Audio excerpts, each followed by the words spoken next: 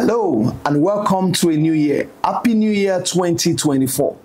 We're at that time of the year where everyone is fired up, everyone believes that, the year is going to be great. One of the questions I've been asked and I want to answer today at this first broadcast um, is to answer the question what can I do to make my year better? What can I do to make my year better? I want to speak to you on strategies that you can deploy that will make your year end well and end better.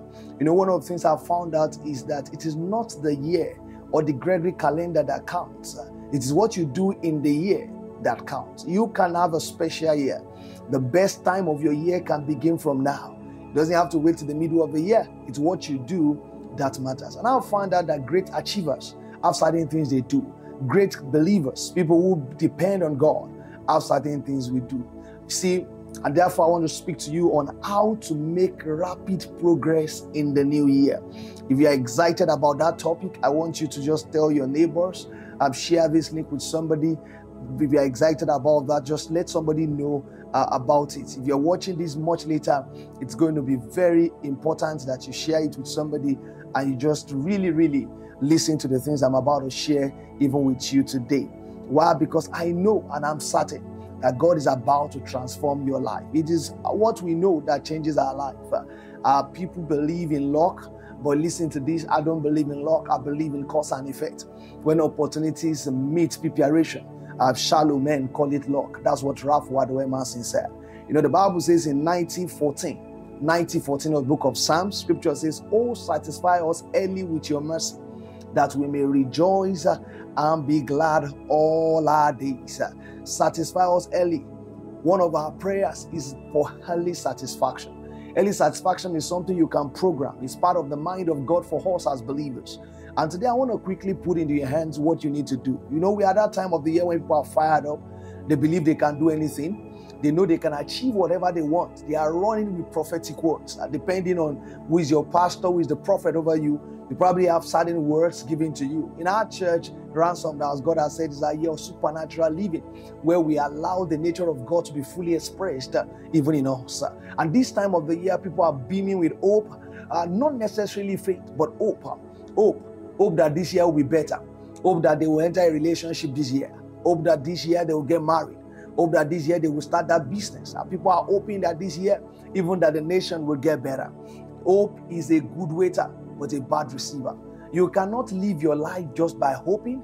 You have to do certain things to ensure that you begin to act. You see, hope is passive, faith is active. But therefore, you must move from just hoping that the year will be better to start acting and doing things that will make the year better for us. Many times, the believer's problem is not the world, the believer's problem is not system, it's not the devil. The believer's problem is the believer himself. This year, you must turn all your hope to concrete plans. You must make plans. Whatever it is you have been hoping to do, this year you must start to work on them. And when I talk about this year, I tell our folks uh, that listen, this year does not start in June. It doesn't start in February. Somebody say, you know, I'm just preparing. I'm fasting all through January, like many churches do. Listen, dear friends, uh, action must start now. As you are doing the spirituals, you must also maintain physical work. Start acting on that idea now. It's not, you don't have to wait till February to propose. If you want to propose, propose now. Whatever you have to do, you have to do it now. There is something called the power of now. If you act now, you will see that your life will change. Listen, it has been said that people are more hopeful, are more energetic in the first two months of the year. Why? Because they just believe they are starting something new. So they believe they can do many things. They believe they can achieve greatness. There's still hope, there is still 365 days. I can do so many things. So February, there's still hope, but by March, it's discovered that people begin to lose hope. That when you find people in October, November, they are probably in despair. And I tell you that the best time to act uh, is when your energy level is at the highest. And you see, our energy level is at the highest when hope is full. And at this time, January, February, you must decide you're going to act now. It's discovered that greatest achievement of many people happen in the first quarter of the year. Don't wait to the second quarter. Don't wait till after you have done your fasting and prayers. Begin to act now. Now that you are hopeful, beaming with energy, start attacking your goals. Start doing what you have planned to do. Start submitting your CV. Start writing that professional exam. Whatever it is you have hoped to do, it's time to do it now. Just do it. What do you think when you hear just do it? You think probably of Nike. Nike is one of the highest manufacturers of sport equipment. At one time, they were just makers of running shoe company. They were just um, makers of running shoe. Uh, but today, they make every equipment that has to do with sports. Probably everyone in the world recognize the Nike logo.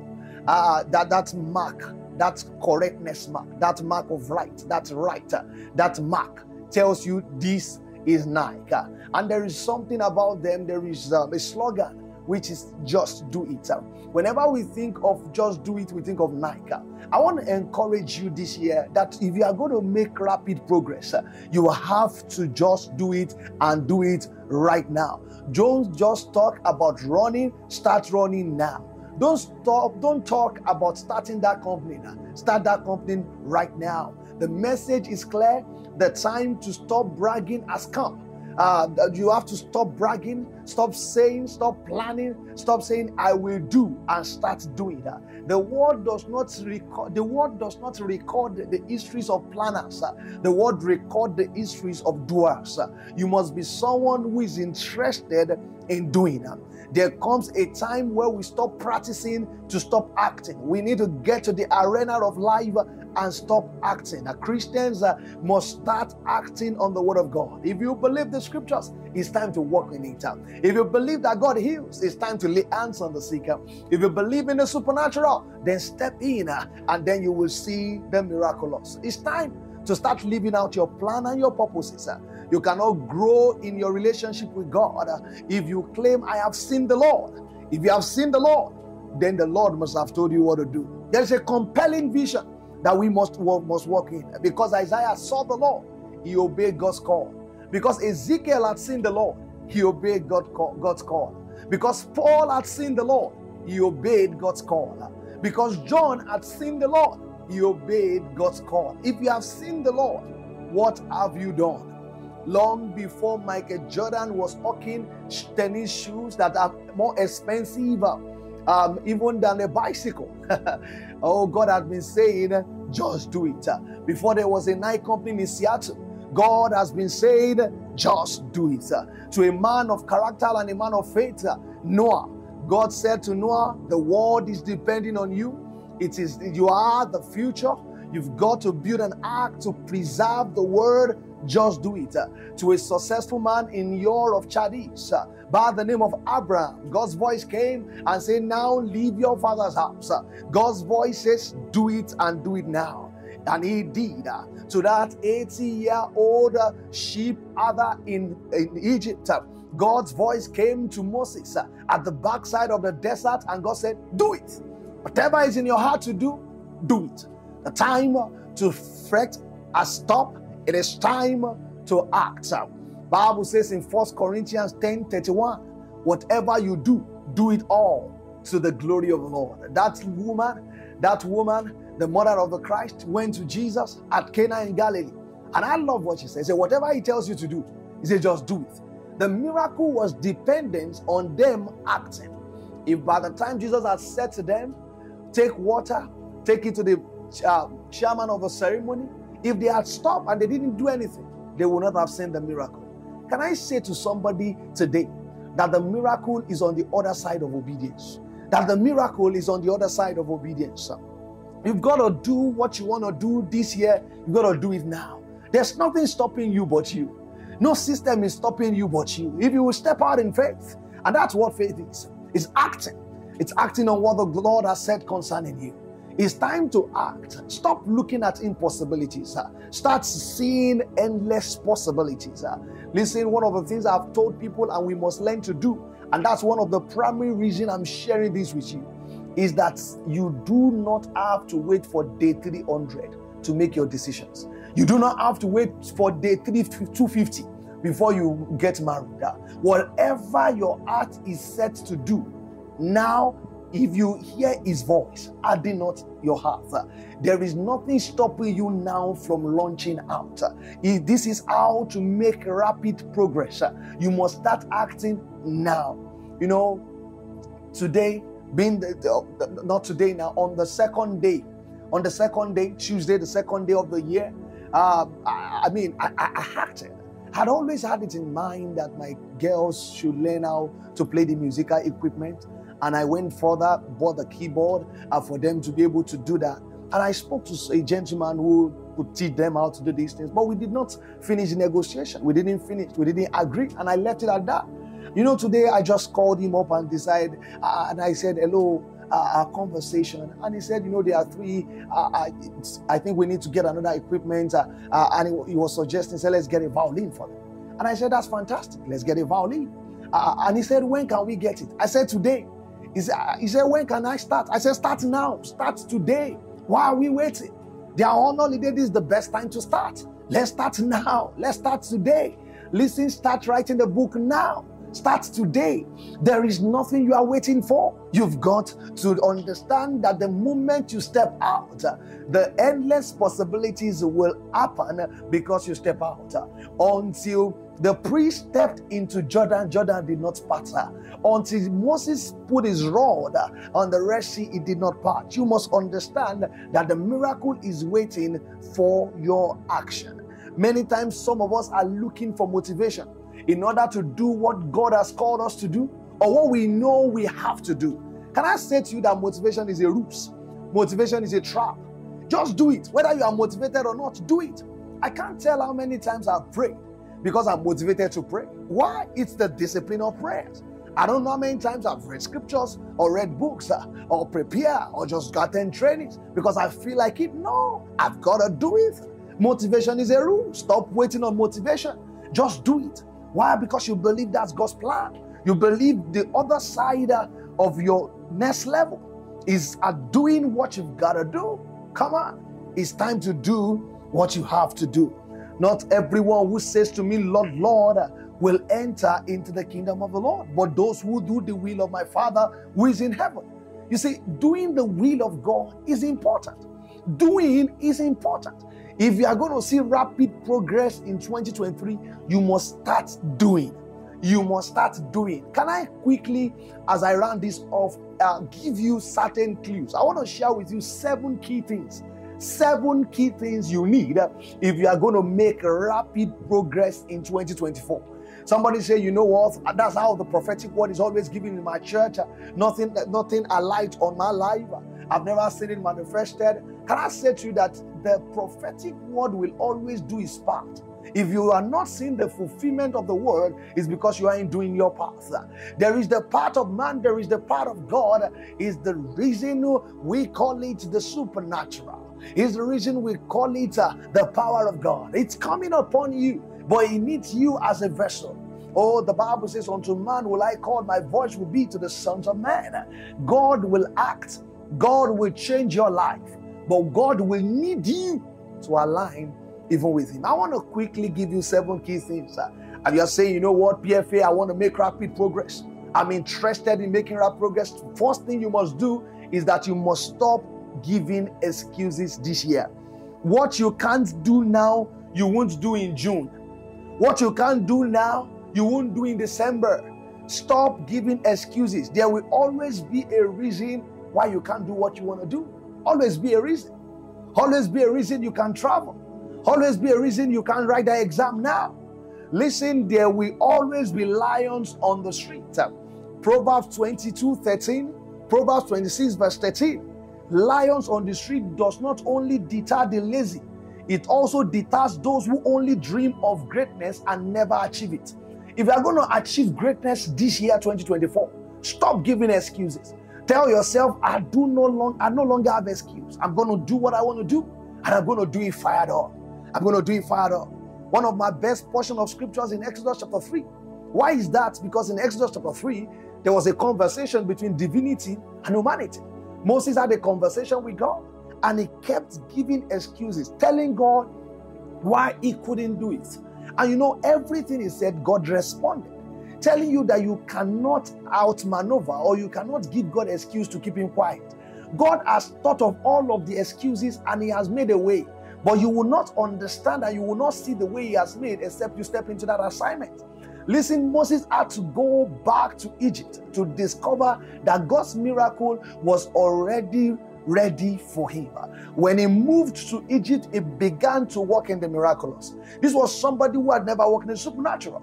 But because he entered into the assignment of God for his life, he opened to himself a vista even of possibilities. Can I say to somebody today that by answering what God has said, by putting your hand on the plow, by starting that business, oh, by, by, by, by just writing that professional exam, what you are doing is that you are making room even for the miraculous. Number two, I want to ask you principle number two very quickly go and act on the faith that you have now. Somebody says, you know, this year I want to build my faith. I've had members of my church tell me that Say, I want to build my faith. And when people tell me that, I smile. Because Jesus said to us in Matthew 17 20 to 21 that the faith you have now is enough. The faith you have now is enough. If your if your gist is, you know, if I can have faith, God can do it. That means you believe in the object of your faith, which is God, that God can. Right? What you are saying is that I don't believe Him enough. Right? That first faith is enough. God said in that version of scripture, Jesus was speaking, he said, if you have faith like a mustard seed, you will say to the to you will say. So the secret is not in the size of the faith, it is in the usage of the faith. He said, Whosoever shall have faith like a mustard seed, and shall say in his heart, shall say to this mountain, Be ye moved. Listen, if you have faith like a mustard seed, and you say, saying is an action, saying is a verb. When you can act, you can see miracles. God is saying that the miracle is by acting. Faith is not passive, faith is active. When you begin to move and walk in faith, then you begin to see God work on your behalf. Act on the faith you have now. It's as you walk and act in faith that your faith increases, that your faith improves. You've got to act on the faith you have now. Go on with what you have right now. Sometimes we give too much room for logic. What has God called us to? He can make it happen. Listen, dear friend, God has called us to a faith journey. You can think of ideas, but you shouldn't overthink faults or even failures. I've met people who can think of 50 ways something will not work. Let God be God. Let Him show up for you. If you will enter into the fullness of God's mind, you first must accept that is the God of all spirits and not the God of logic. To walk with God, you must learn to walk in the Spirit. You must learn to walk by faith. God's Spirit will lead you on and on, and you must learn to follow. God's word came to Peter Peter, go take the fish, you will get the money with it in its mouth.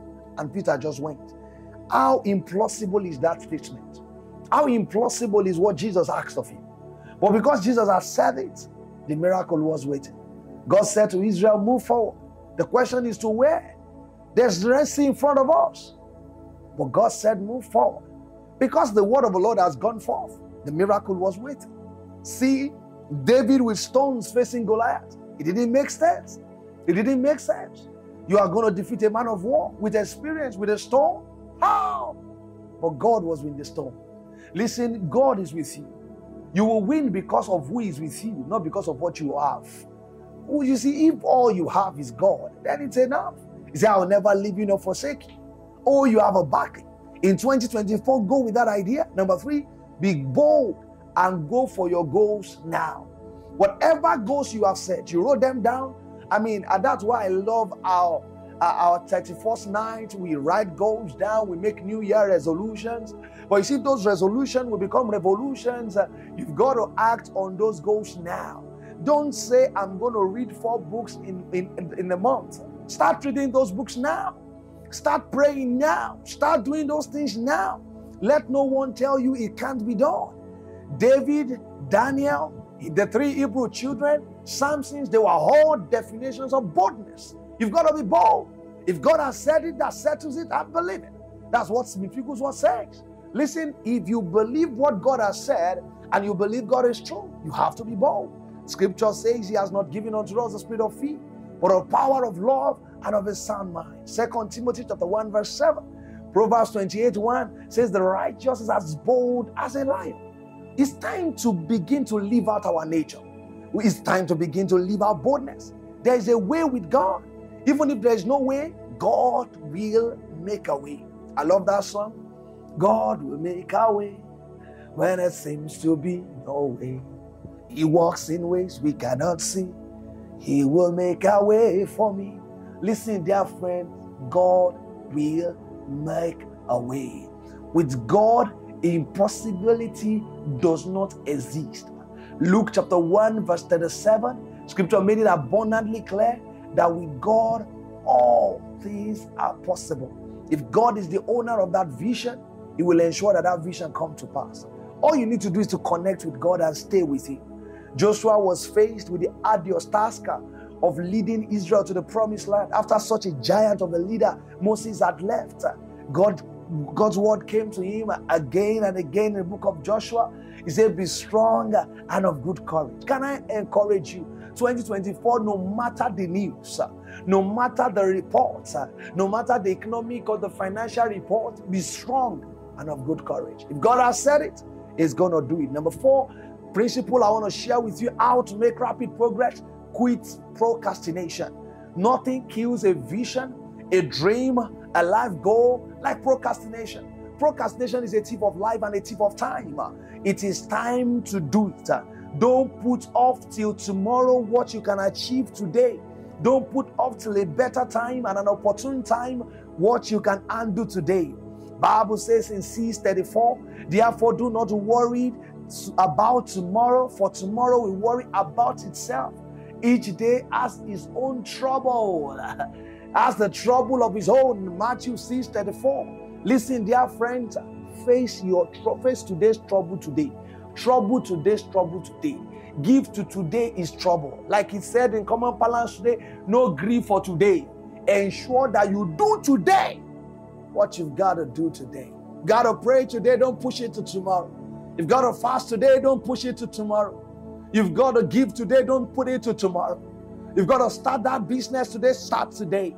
Don't write that proposal tomorrow, you can write it now. No, you don't have to do that study tomorrow, do that study right now.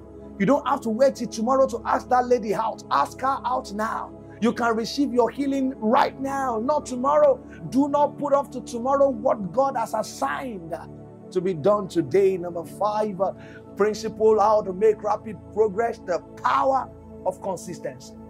One of the most powerful tools to change our life is consistency. It's not just about I've done it before. Many times uh, we give up too soon. Many times we, we let doubt set in. Many times because we were seeking for results, uh, we are not consistent enough. And so we look at our result and we say, you know what? This is not commensurate with my effort, and we just stop. You've got to understand that greatness is in consistency. Nobody becomes a giant suddenly. You need to learn consistency. You may not have to do more things, you just have to be consistent in what you are doing. Can I say that to somebody again? You may not have to do many more things or add to the things you are doing right now or in 2023.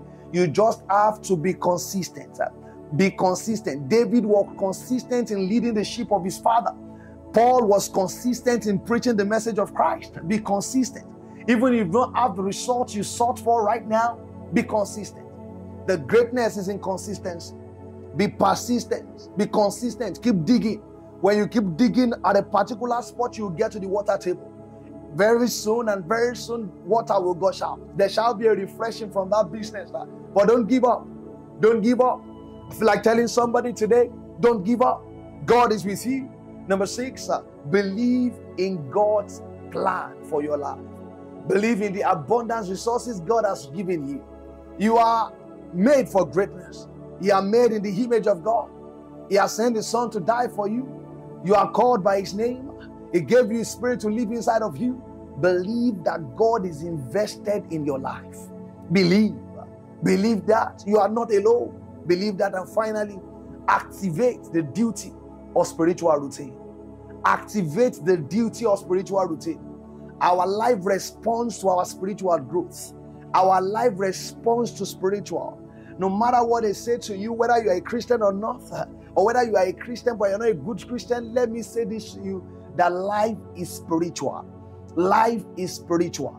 Life is spiritual.